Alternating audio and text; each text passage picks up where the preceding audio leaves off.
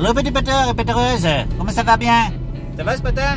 Tout le monde va bien? Bon, je conduis comme une merde. Je regarde devant. Attends, j'enlève mes lunettes, ça fait star. Alors aujourd'hui, nous allons voir non pas une petite entreprise de peinture, mais une très grosse entreprise de peinture. Enfin, on va pas aller le voir. Je vais tester une peinture de la marque Tolins. Oui, madame, oui, monsieur, oui, tout le monde. D'ailleurs, c'est assez drôle parce qu'il y a certaines peintures, certaines marques de peinture, t'as vraiment l'impression que c'est ou un homme ou une femme, ou masculin ou féminin. Et Tolins, ça fait Monsieur Tolins. Madame Tolins, il y en a certainement une, mais ça fait Monsieur Tolins. C'est comme The Black Tower Company. Ça fait un peu femme. C'est Mademoiselle de la Tour Noire, d'ailleurs. Nous allons donc tester trois peintures. Que dit que peintre, c'était pas un métier? Pêche-toi, je conduis là, c'est dangereux ce que je fais. Bien sûr que c'est un métier.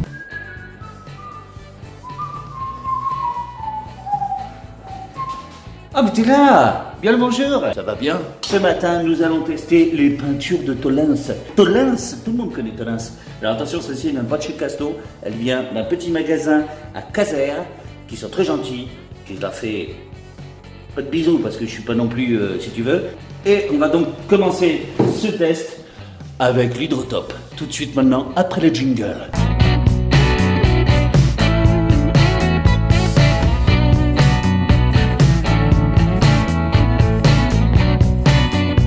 Et pour le retour de la playlist tester de peinture, ce sont les peintures Tolins qui nous font l'honneur de passer sur le grill. Alors pour la petite histoire, Tolins c'est une marque néerlandaise qui a été créée il y a un peu plus de 270 ans et ce qui en fait du coup l'une des peintures professionnelles les plus anciennes du marché. Les peintures que je teste sortent toutes droit des magasins Tolins appelés Couleurs de Tolins. Alors euh, merci de ne pas comparer les peintures de ce test avec celles que tu pourrais retrouver en GSB, ce ne sont pas du tout les mêmes formules et donc la même qualité. Commençons avec l'Hydrotop. Alors c'est une gamme qui existe aussi en velours, en mat, en satine, en impression. Je te laisserai le lien de, Tolins si tu veux aller euh, avoir plus d'informations. Pour la vidéo, j'ai testé la mat. On peut aussi bien l'appliquer sur un mur que sur un plafond. Elle est bien entendu acrylique. Question rendement, c'est de 9 à 11 mètres carrés, c'est du grand classique pour une peinture de ce type. Euh, il n'y a pas vraiment de surprise, elle tient de la promesse affichée sur le fût, même si de la diluer augmente très légèrement le rendement sur un fond bloqué. Donc deux étoiles. Le traçage, une étoile, j'ai pas remarqué de traçage après séchage complet de la peinture. En revanche, j'ai noté un séchage un petit peu trop rapide à mon goût, euh, sans compter que je l'ai testé sur des surfaces assez petites et en plein hiver. Donc euh, faut voir ce que ça vaut sur de grands plafonds par exemple. Et j'ai un petit doute, donc pour cette interrogation, elle n'obtient qu'une étoile. Niveau consistance, j'ai trouvé utile de la diluer un petit peu pour avoir une meilleure glisse. Le côté un peu pâteux de la peinture, c'est pas forcément un gage de qualité, mais c'est souvent le cas sur toutes les peintures professionnelles, donc je ne suis pas vraiment surpris. Je mettrai quand même qu'une étoile parce que je la trouvée vraiment épaisse, hein, et pas vraiment utilisable euh, euh, pure comme ça. Quoi. Au niveau de l'odeur, c'est proche de rien pas désagréable. Niveau couve, elle est dans la norme européenne pour une acrylique, euh, à savoir moins d'un gramme par litre, et pour ce type de peinture. Et on peut noter qu'elle a aussi un éco-label euh, norme française environnement. Donc deux étoiles sans souci. Rapport qualité-prix, c'est là que le bas blesse encore trop cher sur le marché. C'est une peinture qui aura du mal à attirer les clients moins fortunés, mais elle reste une très bonne peinture à mes yeux. Et comme je dis souvent, il en faut pour toutes les bourses. Donc une étoile seulement. C'est dans l'ensemble, c'est une très bonne peinture tout de même. Je regrette juste le temps d'ouverture du produit assez réduit pour une grande surface de plafond. Ça, c'est pas forcément ce que je recommanderais. Enchaînons sur la Toll Matte Siloxane. C'est une peinture mat à plafond, bien entendu, ça peut aller aussi sur les murs, sauf qu'elle n'est pas lessivable. Côté rendement, deux étoiles, elle affiche un très bon 10 à 12 mètres carrés, et ça c'est sur le papier, et dans la pratique, elle, respecte totalement ce qu'elle avance, c'est pour ça qu'elle obtient deux étoiles.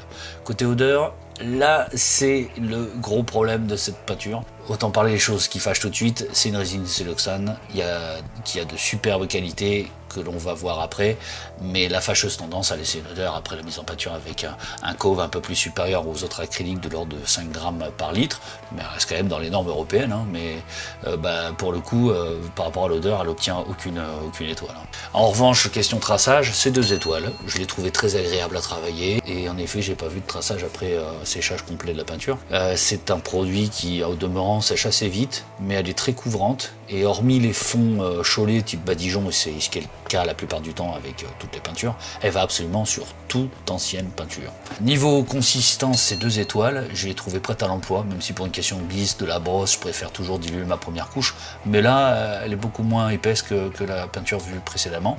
Et pour finir, rapport qualité-prix, c'est une étoile. On est toujours sur une peinture euh, assez chère, mais la qualité est là, donc une étoile. Dans l'ensemble, c'est une bonne peinture, même si on peut forcément lui reprocher l'odeur, c'est dommage. Finissons avec une très bonne note, ma préférée de la, de la gamme Tolins, non, mais de celle que j'ai pu tester parce que je peux pas tester toutes les peintures. La Capteo, c'est une peinture dépolluante qui est d'une véritable surprise. Alors elle est enrichie en siloxane, mais c'est très faible. Euh, ce, qui, fait qu'on la sent pas, du, on sent pas du tout quoi. Elle trace pas et c'est un, vrai régal pour les yeux. Question rendement, c'est deux étoiles. J'ai pu peindre sur de la gouttelette euh, bloquée, donc euh, déjà peinte. Elle affiche un 7 à 11 mètres carrés par litre et j'étais plutôt dans la fourchette haute avec un plafond de, qui faisait une dizaine de mètres carrés que, que j'ai peint pour le test. Du coup, deux étoiles. question odeur, c'est deux étoiles malgré la présence de, de résine siloxane, comme je le disais. La peinture n'a pas d'odeur, donc c'est agréable pour l'applicateur. C'est un sans faute.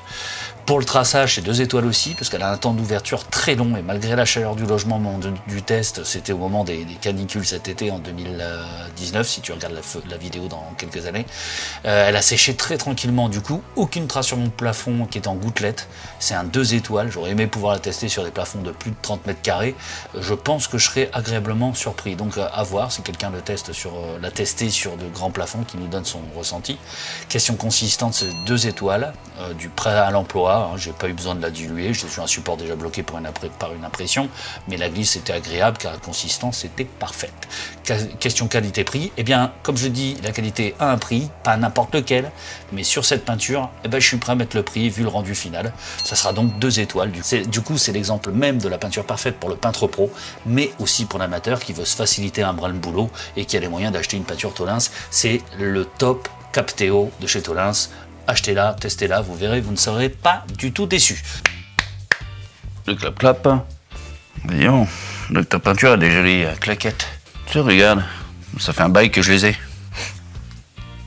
Ça sent le voyage. J'espère que cette vidéo t'a plu et que tu vas liker, commenter, etc. Bon bref, si tu as testé déjà cette peinture et que tu connais d'autres produits, euh, d'autres euh, de la gamme euh, Tolins, les couleurs de Tolins, c'est pas les Tolins qu'on retrouve en GSB, fais-nous part de, ton expérience avec cette peinture dans les commentaires et partage à fond sur les réseaux sociaux. Si toi tu es une petite marque de peinture ou une grande marque de peinture, je me prends les grandes, les petites, tout. Alors contacte-moi à docteurpeinture.gmail.com. Je me souviens qu'une des dernières fois, il y avait quelqu'un, un petit, un petit gentil ou, peut-être méchant, je ne sais pas, qui m'avait dit mais tu peux pas être objectif à partir du moment où on te donne la cam. Ben si. Si je demande un don de cam à tout le monde, ben toutes les peintures sont au même niveau. C'est comme si j'achetais toutes les peintures, elles seraient toutes au même niveau puisque je les achète. Tu comprends? C'est la même chose. Argument de merde. Un peu de lumière derrière ce test. Si ce test t'a plu, seulement s'il t'a plu, un petit pouce bleu vers le plafond tout propre que tu as peint. C'est mignon. Ça faisait tellement longtemps que je l'avais pas fait. Puis, c'est tout. Écoute, hein, je crois que j'ai assez parlé. À bientôt pour de prochaines aventures. Ciao T'as pas l'odeur quand je fais ça? De la chance. Je viens juste de me lever, alors... Pas eu le temps de déjeuner ni de me laver les dents. Si tu vois ce que je veux dire. Hop Extinction des projecteurs. Chou, pum Oh là, ça fait mal aux yeux. Si tu es arrivé jusqu'à ce message, c'est qu'il t'arrive de regarder à fond les vidéos. Ça me fait quelque chose.